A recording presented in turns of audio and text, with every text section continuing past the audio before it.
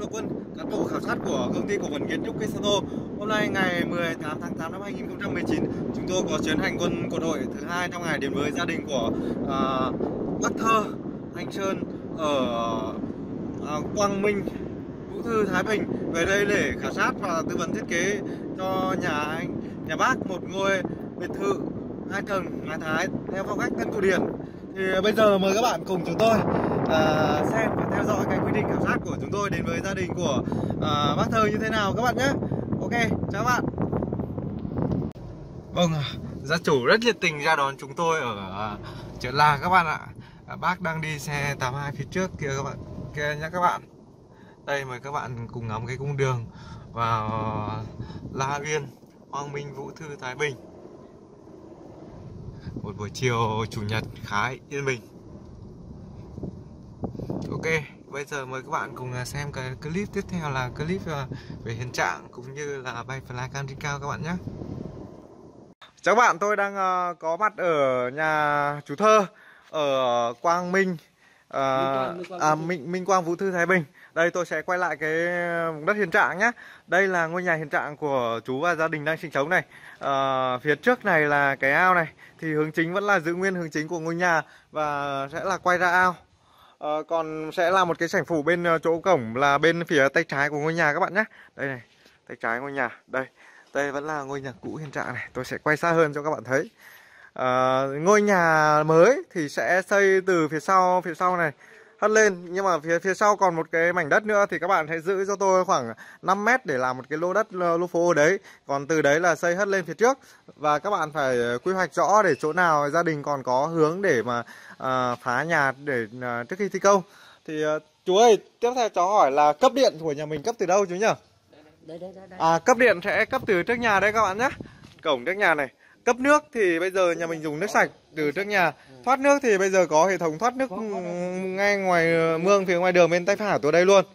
Ok, còn ở đây là, trước đây là toàn là đất nguyên thổ nên phương án chủ yếu của anh dự kiến xây dựng một cái ngôi biệt thự hai tầng mái thái theo phong cách tân cổ điển thì phương án móng sẽ là móng băng. Các bạn nhé, để giảm giảm thiểu cái chi phí.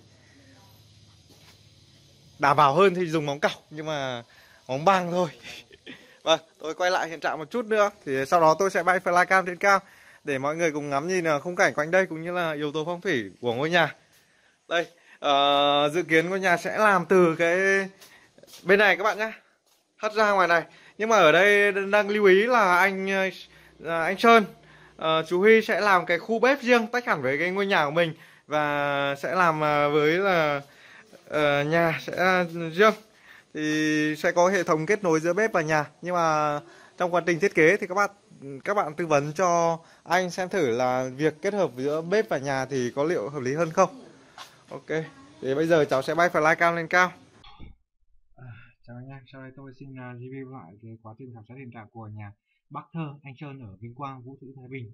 Thì uh, cũng giới thiệu qua qua các bạn là hiện tại thì anh, anh Sơn đang đi à, xuất khẩu lao động ở bên Nhật thì các bạn sẽ làm việc uh, với Sơn thông qua Zalo Facebook nhé. Thì cái này thì Hảo sẽ cung cấp thêm thông tin cho các bạn.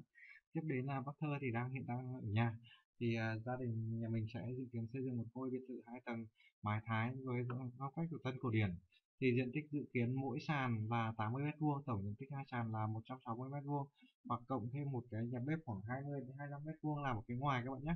Thì tổng diện tích là 180 mét vuông tổng mức đầu tư là 1 tỷ đồng sau khi bay flycam đo vẽ hiện trạng thì tôi đo được như sau.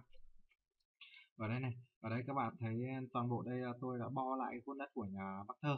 Thì uh, sau khi đo xong thì bác có chia sẻ là trừ một cái, cái ô đất khoảng à, uh, 5 mét mặt tiền đây sẽ là một cái lô đất riêng dành dành cho một người con riêng của bác. À, một người con của bác.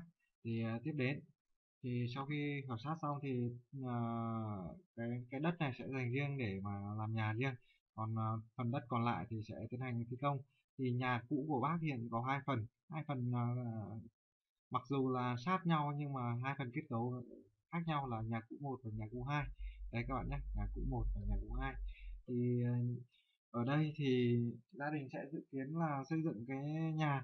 Thì hiện tại tôi đang tạm thời phân ra như thế này ví dụ như là ở đây làm nhà hai tầng với diện tích mỗi sàn 80 mét vuông và bên này là à, nhà một tầng nhà bếp. Thì tôi phân thế này mục đích là gì? Thì trong quá trình các bạn bố trí ấy, thì các bạn có thể là bố trí như thế nào đó. Nếu mà cần thiết là trong phạm vi cả nhà cũ 1 và nhà cũ 2 thì sẽ tiến hành phá rỡ cả hai nhà. Còn ví dụ như chỉ bố trí trong phần phạm vi của nhà cũ 1 thì sẽ giữ nguyên lại vị trí của nhà cũ 2 các bạn nhé thì để gia đình sinh hoạt đấy và sẽ tiến hành phá rỡ và thi công bên này. À, thế thì ờ, tiếp đến là cái sân này giữ nguyên.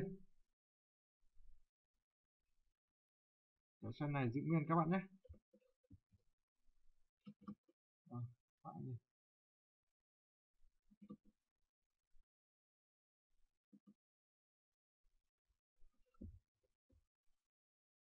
cái sân này giữ nguyên cho tôi.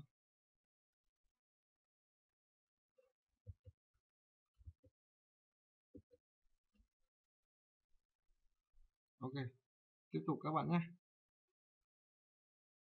Tiếp tục này. À, thì à, cái sân và cái ao này giữ nguyên. Thì các yếu tố tôi xác định được như sau.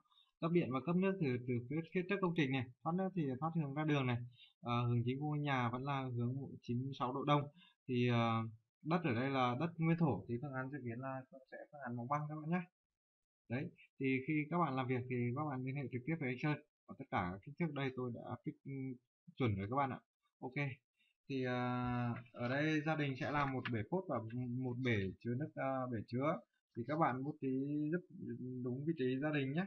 À, thì tôi có một điều lưu ý với các bạn là khi các bạn làm lên phương án thì để để gia đình có cái mà để có phương án để dỡ phá dỡ nhà thì các bạn phải lên phương án uh, chi tiết cho tôi là liên quan đến nhà một nhà hai các bạn nhé. Đặc biệt như thế nhé à, và một điều nữa là nhà hiện tại thì có một uh, người anh em có kinh nghiệm làm kết cấu. Thì trong quá trình làm kết cấu nếu các bạn cần cần liên hệ thì hãy liên hệ với nhà anh ở nhà anh Sơn để mà liên hệ với người trực tiếp làm kết cấu. Ok.